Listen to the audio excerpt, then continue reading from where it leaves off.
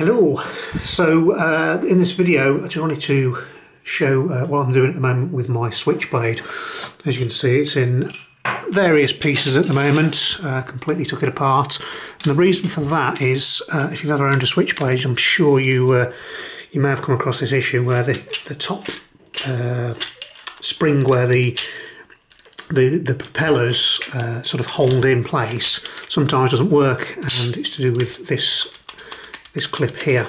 Now I'll just take this apart and show you the reason why. So let me just grab this.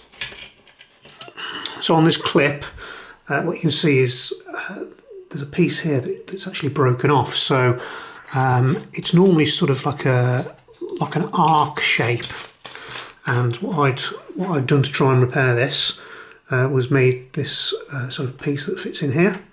It's like a, an arch piece of plastic and what was happening was I was sticking it on there and I was gorilla gluing it, super gluing it. Um, unfortunately plastic weld didn't work because it was fashioned from um, this sort of this plastic that I'd got uh, off a tool and uh, every time I put it in as you can imagine the because uh, it's such a small sort of join it would just bend and snap.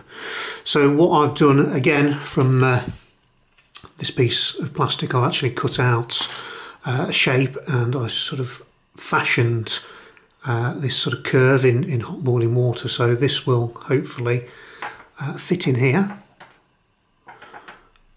And sort of forms this sort of little clip so it sort of holds it up in place uh, against the, the spring. So what happens is this, this clip here will uh, go over the propeller and hold it down and it holds it in this position and then when you sort of press it that way it's just got enough flex in there to uh, allow it to pop the, the propellers open. So what I'm going to do now is uh, off camera I'm going to, I've tested this and it, and it actually works. Uh, I'm going to uh, glue this in place so I've got a bit more purchase on it uh, and then uh, put it all back together and show you how it works. Okay, so now I have I've actually super glued uh, this piece in place. So I'm just going to stick it back together just to show that it actually works. So we'll get that it's a little bit fiddly doing this behind the camera. So just put that in place and there's a spring there. I'm not going to put it down in place, I'm just going to hold it in place just to show you for um, just to show you that it's working. So let me just switch hands.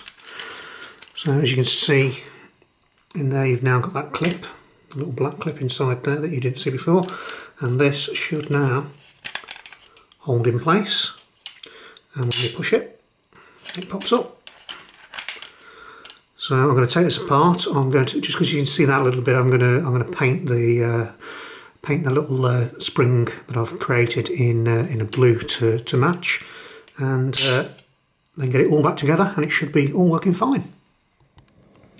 Okay so here's the uh, the finished thing.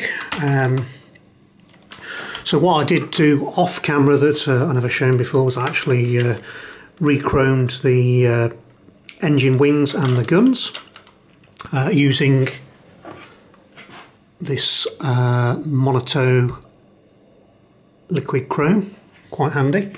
Uh, is a little bit tricky to get used to, so uh, I had a little practice before. Okay, and then we can convert this into helicopter mode and show you it all working. So here you can just see the pin that I added, so that now pops up.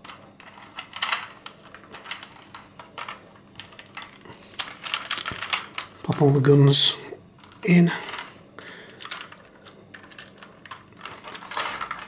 And it's there, working away nicely. And then we can convert it back into attack mode. Pop these up, pop your little guns out, and there you go.